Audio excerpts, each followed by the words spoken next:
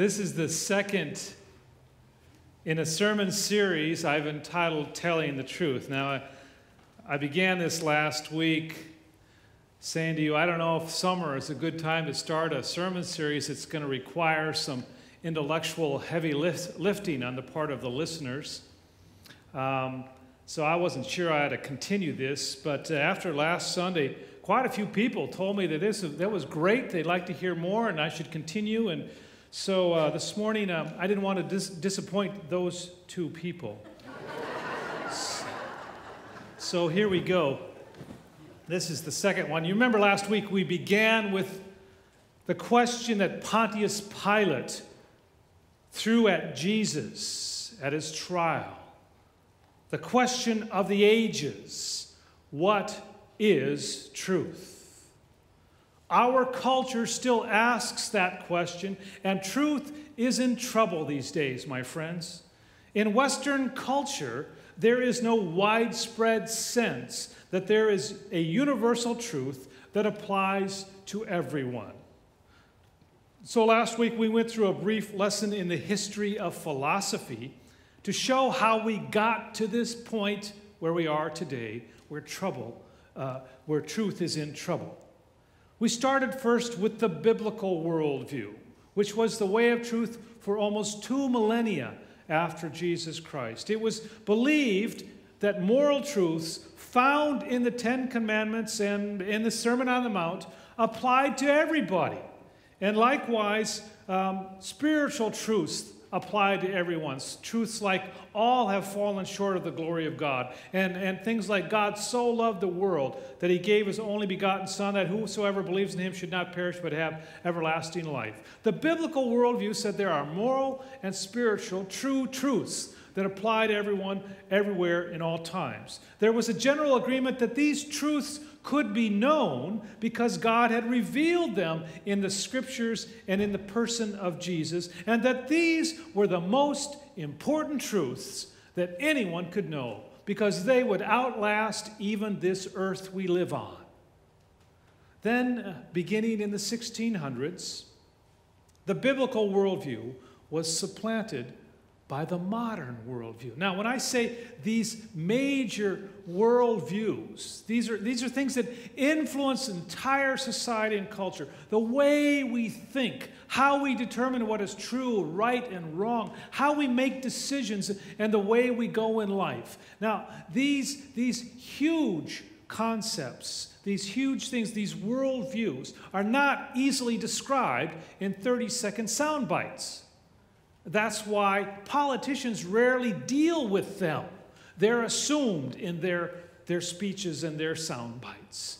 But it's important for us to consider the whole thing so our eyes are wide open to what we're dealing with here. So, and also the other thing I want to say when I say um, we went from a biblical worldview to a, to a modern worldview view and then to the postmodern worldview, doesn't mean that on such and such a date everybody turned a page in their, their book of life and they started on this new worldview. Now, these things kind of ooze through a society and a culture over a long period of time.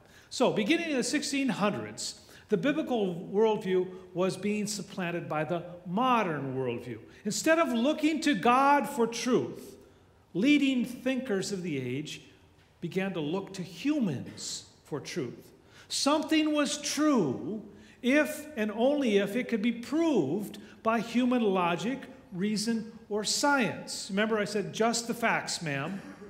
That's the motto of the modern worldview. Just the facts, ma'am. And since spiritual truths cannot be tested by science or proved by reason, the modern worldview made spiritual matters less real and therefore less important than physical matters. It removed God from daily life, really and left humans with a cosmos too small to contain the human soul.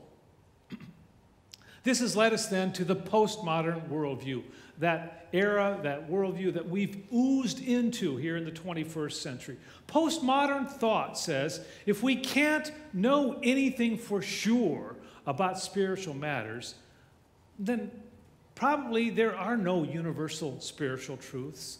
And so, so everyone is free to create his or her own truth, and every version of the truth is just as valid as any other. That may be true for you, but it's not true for me. The only thing you're not free to believe is that you have found the truth with a capital T, because that's just arrogant and intolerant with others who might not see it that way.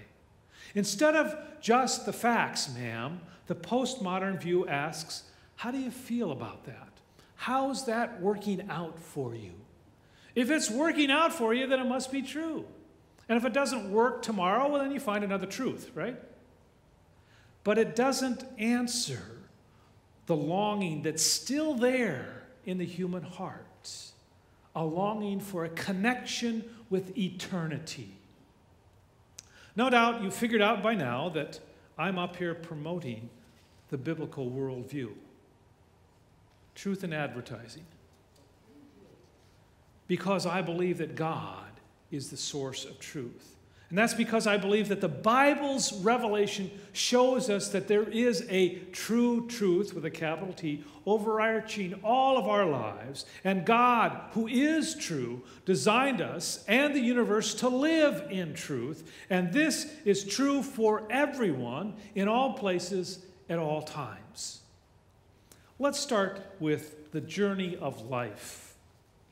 Life as a journey is one of the, the common themes, really, that humankind has under, used to understand itself and the meaning of life. You find it in the Old Testament story of the Israelites uh, in the book of Exodus. They're wandering out of slavery, wandering through the wilderness to find their freedom led by God. You find it in the book of Hebrews that talks about Abraham's journey as a model for Christians. And you find it in, in secular literature like Homer's Odyssey or in Chaucer's Canterbury Tales, or John Bunyan's Pilgrim's Progress, Mark's Twain, Mark Twain's Huckleberry Finn, Joseph Conrad's The Heart of Darkness.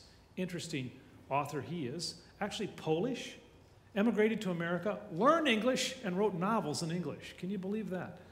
Jack Kerouac, On the Road, his series. How about, Tol- how about Tolkien's The Lord of the Rings? These are all stories of journeys as metaphors for finding meaning in life. In our life journey, traveling through the twists and turns of fate, seeking to fulfill our quest, we find ourselves often, if we pause long enough, asking these questions Where am I? Where am I meant to end up? You know, when I started out, I thought I was going to get here. And now I find myself over here. How did I get here? Or sometimes we say, How did I get here? We may have a sense of how helpful it would be to have a map to guide us. But which map to use and where do you find it? Let me tell you a little story about the renowned economist E.F. Schumacher. He wrote about a visit that he took to St. Petersburg, Russia. At that time, when he took the visit, it was called Leningrad because it was still under communist rule. He was sightseeing, and he got to a point that he got he was really puzzled. He didn't know where he was. He was certain that he had followed the map correctly. But what he saw on the map, what the map told him, isn't what his eyes saw right there in front of him. He saw several huge Russian Orthodox churches, their golden onion domes high above him. None of these were on the map. Well, that's simple, said his guide. We don't show church, churches on our maps. Schumacher observed, That is not the first time I had been given a map which failed to show many things I could see right in front of my eyes. All through school and university, I had been given maps of life and knowledge on which there was hardly a trace of many of the things that I most cared about and that seemed to me to be of the greatest possible importance to the conduct of my life. Reminds me of many of my um, colleagues who went to seminary and said, I didn't learn anything in seminary that applies to local church. Maps for the journey.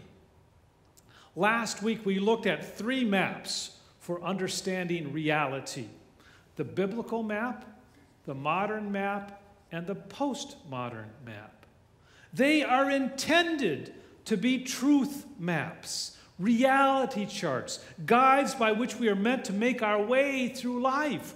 They're supposed to help us see the truth.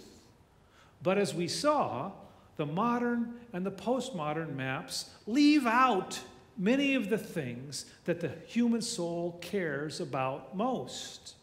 Things that are of the greatest possible importance for determining how we are to live in this world. Ask which map will lead to the truth, and the Western world cannot agree. Perhaps people are simply groping in the dark looking for the truth. Now, you don't have to be a prophet or an expert in philosophy to see where this will all lead. If we can't agree upon the truth map, then we're going to be led into a time of spiritual and moral anarchy. Maybe we're already there. Last week, I began to define the problem we find ourselves in. And I hope to complete that this morning. So please be patient with me. Bear with me. If you start to nod off, raise your hand, and I'll raise my voice, okay? So let's take a, a closer look at these two models, these two maps for truth the biblical model and the model that has begun to dominate Western culture, the postmodern view. Several years ago, I saw a really good movie the movie Amistad. How many of you have seen that movie, Amistad? It depicts events in America between 1839 and 1842. It's about a slave ship, the Amistad. True story. The slaves had taken over the ship and they sailed it to Massachusetts, where slavery was illegal. And they threw themselves on the mercy of Massachusetts, wanting their freedom. Now, the ship owner sued in court to have his ship and his cargo, the slaves, returned to him. And so protracted legal battles ensued, and slavery again became a major public issue in the nation. Now, I want you to think about that issue, slavery. and to answer this question How do I know that slavery is wrong? And how could I convince others that slavery is wrong? But you must answer those questions without any reference to God or the Bible. You can't read them Exodus where God says, I've seen the affliction of my people in slavery in Egypt. How would you convince someone that slavery is wrong without referring to God or the truths we learn from the scriptures? Well, you might have some premise of humanism that we ought to treat each other the way we want to be treated. Yeah, but where do you get that? Where'd that come from? You just make that up? Might be true for you, but it's not true for me. Huh? Truth, you see, matters. It really does. How you view moral truth has significant implications. Postmodernism really has no explanation for the problem of evil or a basis for telling others that what they're doing is wrong. Think about it. If there is no overarching truth that applies to all of us, if moral truth is simply what the individual believes to be true or that group believes to be true, then the ultimate result will not be a time of peace and goodness and harmony where everyone accepts and tolerates everyone else. The result will be that a powerful man will step into this moral vacuum and use his power for his own purpose, and no one will be able to tell him he's wrong.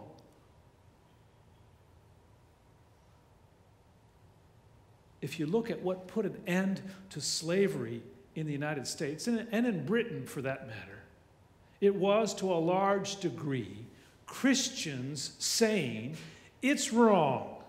It's wrong in the South, it's wrong in the North. It's wrong everywhere, regardless of how slave owners believe or feel about it.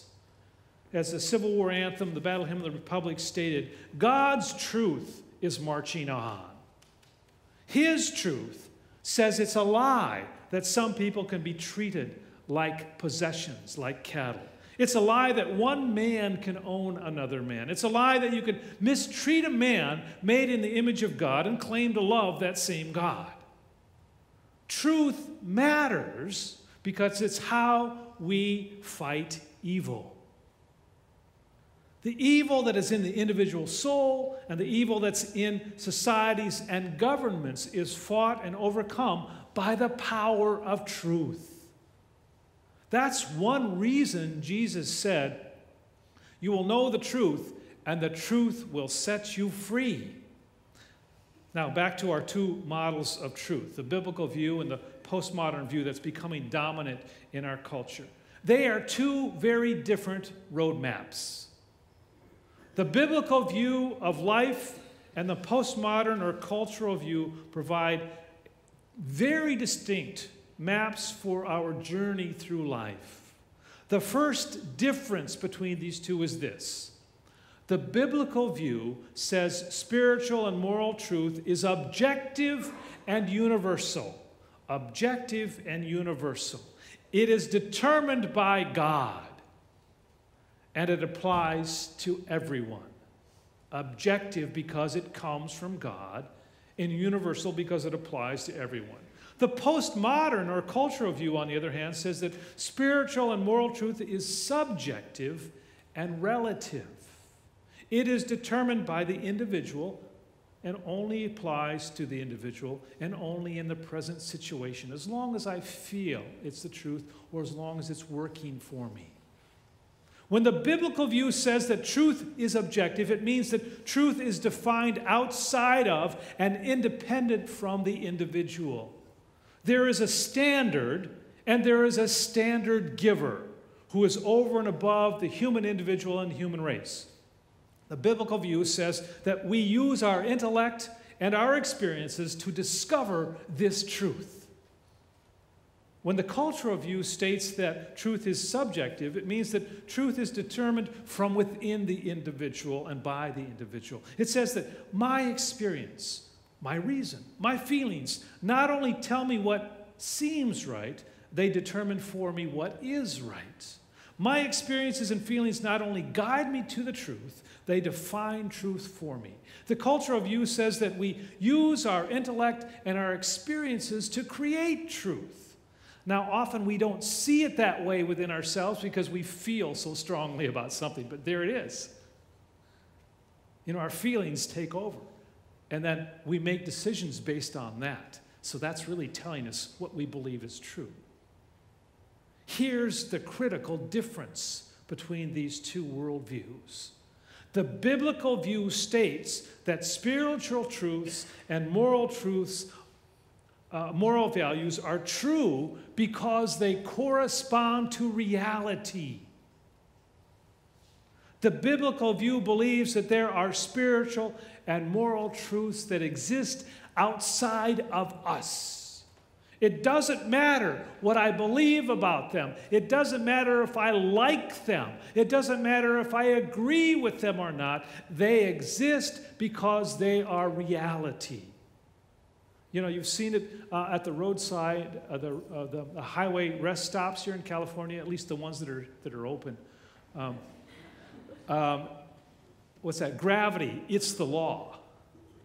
Just like, you know, the speed limit, it's the law. Gravity, it's the law. It's true. The cultural view states that something is true because I believe it is true. And it is true as long and only as long I believe is it is true.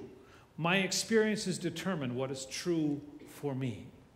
Basically, it really comes down to this Who determines reality? God or you?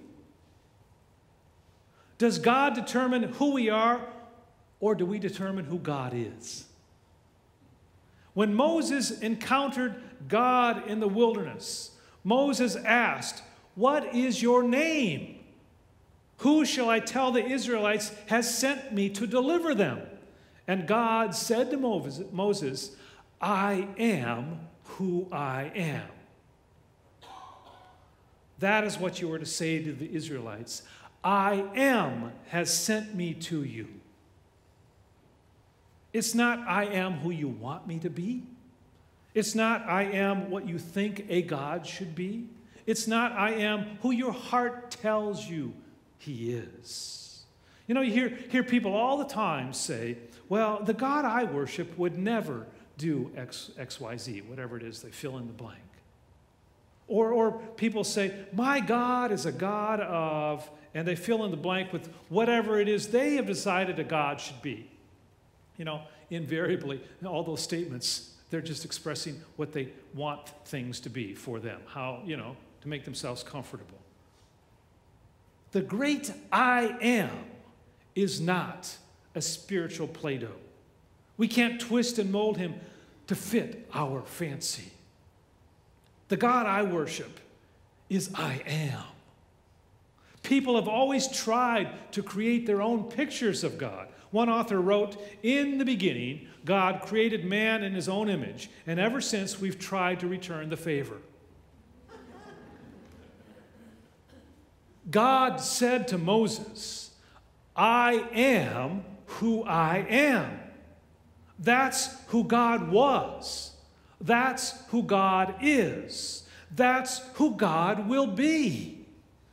And that determines reality.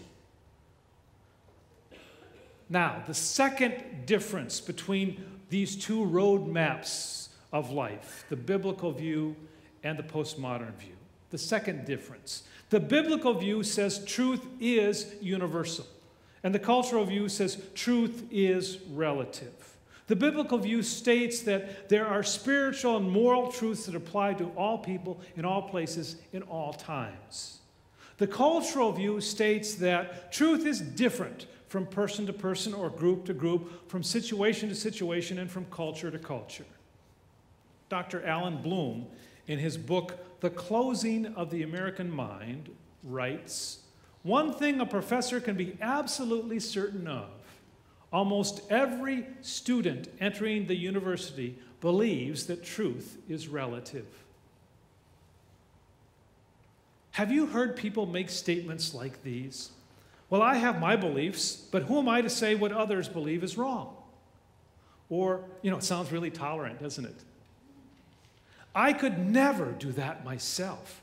It would be wrong for me, but that doesn't mean it's wrong for someone else. Now, there is everything right with respecting people you disagree with and people who hold different values and morals than you do. It's, it's right to respect them. But there is nothing Christian in trying to force others to believe what we believe, right? Neither is there anything Christian about denying that there are universal rights and wrongs. Why does the Christian view state that there is spiritual and moral truth for all people in all cultures and all times? Because there is one God. I am reality. There is one God, and it is His nature and character that determines truth. I am didn't say to Moses on the mountain, I've seen the suffering of the Israelites in Egypt and I think it's a good deal. No, he said, I've seen their suffering and I want them free. It is God's nature and character that determines truth. That's very important. God is reality. Why is hatred wrong? Because God is love. Why are adultery and betrayal and disloyalty wrong? Because God is faithful. Why are deceit and falsehood wrong? Because God is true. Why is bitterness wrong? Because God is forgiving. Why is lust wrong? Because God is pure. That's why our lives work best when we are loving and faithful and true and forgiving and pure of heart, because that's when we are flowing with reality, the way God has made this world and made us, instead of fighting against reality. One rationale that evil people have used to protect themselves from moral criticism is that there is no universal moral truth. If a way of life works for someone or some group, then it must be right for them. These folks say our histories, our cultures, our circumstances are different, and it is arrogant of you and your culture to judge me for me and my culture. Again, from that movie Amistad about the slave ship and those slaves seeking their freedom in Massachusetts. In one of the scenes there in the film, it shows South Carolina Senator John Calhoun making this very same point that I've just described. In the presence of President Martin Van Buren, who was from New York, Senator Calhoun tells the Spanish ambassador that the North has no right to condemn the South. Don't you dare judge us, Senator Calhoun says. We have a way of life that has been practiced by our fathers and by their fathers, Mr. Ambassador, just as it does in your country. Our way of life includes the timeless institution of slavery, an institution that you find in practically every society since the beginning of time. The North looks down upon us and tells us not that we're different, but that we're wrong. What right do they have to judge us? That is the question, of course. What right did they have to judge? Remember when I was an undergraduate in college, I was a history major, took a lot of history courses, and this one course was um, History of America, United States, Civil War to 1900. And I remember one lecture, the professor would come in and give these wonderful lectures. And one lecture about Civil War, his thesis was one of the causes of the American Civil War was Reconstruction. The Northerners believed the South needed to be reconstructed that they were wrong. The institution of slavery was wrong and hurtful to the slaves and to the slave owners. I have on my computer the digital copy, copy of a journal whose uh, paper copy is in a museum back in Iowa. It belongs to my great great grandfather, Elijah Burton. He was a surgeon, a doctor uh, in an Illinois regiment in the American Civil War. This journal is fascinating he writes about, he, he, he was uh, with Sherman's army from, um, from Tennessee, Chattanooga, all the way through Atlanta and the march to Washington, D.C. By the way, I happened to mention that to a, a fellow from Georgia I met a number of years ago, and he kind of scowled and he said, People remember that. yeah. Anyhow, in his journal, he writes in numerous places, places where they stopped and camped for some time, and he would always go into the nearest town to find the church and the doctor, the local doctor. Also mentions how he went out to some plantations to give medical care to the black people living out there.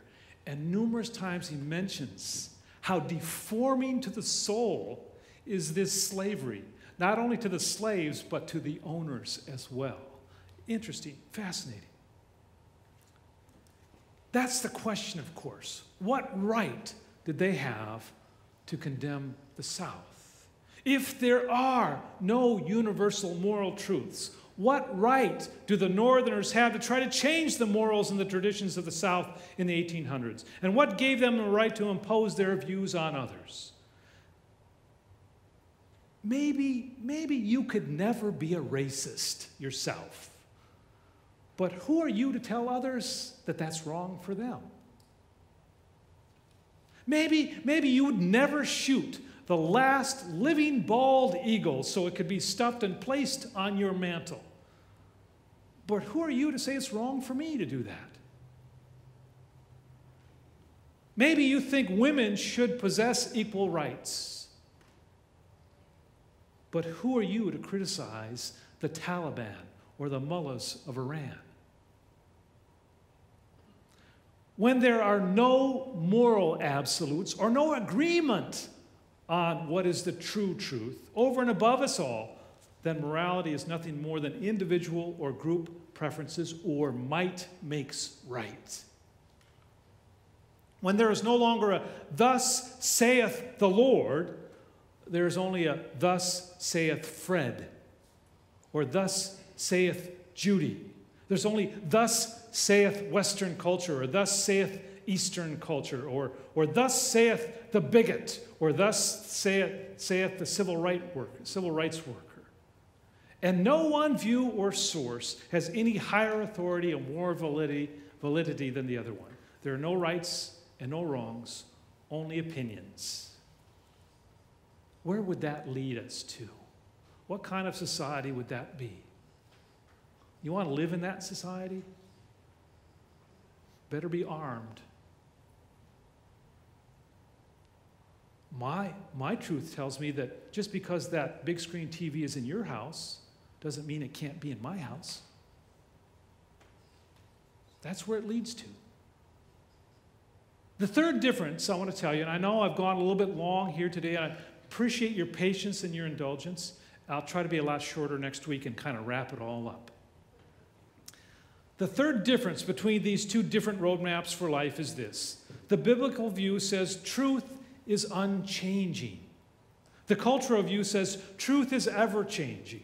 The biblical view tells us that God's truth is the same yesterday, today, and tomorrow. And the cultural view says that truth is evolving, or truth changes according to the circumstances or cultures of the time. Think about that. If moral truth is founded upon the, the, the nature and the character of God, as we stated earlier, then o- the only way moral truth would change is if God's character were to change. If God is still kind of figuring things out, if he's a cosmic teenager and still needs to mature, frightening thought, isn't it? if, if, if who he was yesterday is not who he will be tomorrow, then spiritual and moral truth will also change. And that will lead to spiritual and moral chaos, really. Each one going his or her own way because they're not in agreement on what stage of evolvement God is on. Theoretically, I suppose God could be evolving and changing, but, but that's not the biblical view. The Bible says who he is, the glory of Israel, he, he who is the glory of Israel does not lie or change his mind, for he is not a man that he should change his mind. Malachi says, I, the Lord, do not change. Jesus Christ, it says in Hebrews, is the same yesterday and today and forever. That is the biblical view. God's character doesn't change, and so morality based on his character doesn't change. Truth is truth to the end of reckoning.